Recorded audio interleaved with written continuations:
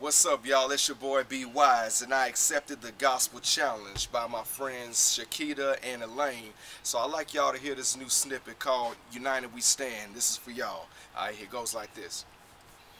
When sin calls, men fall, but I know one who can cleanse all. The battle is between good and evil, and yes, there is a thin wall, but he been raw, he been real. His red blood, it been spilled. They ain't talking about no red cross, but he donated it right here, and it's right here, quite clear when he whispers in your right ear. The crazy thing is, he'll bless you faster than the light year. United we stand, divided we fall. Call it simple math. The road you're on is hard. He wants you on the simple path, but the road is narrow. Stay focused like a bow in an arrow. Shoot it real quick, cause we're in this battle. There's a snake and you hear his rattle. There's a horse up on his saddle. We gon' ride, we gon' paddle. And his eyes on the sparrow and his guy coming at you. His word says we're a city on a hill. God is great. So we're gonna be more unified than the whole United States. We ain't gotta hate. Without love, we're like a bakery out of cake or a fisherman out of bait. We can do it right now. See, we ain't even gotta wait. So let's go. Let's go, let's go, let's go, let's go, let's go, let's go.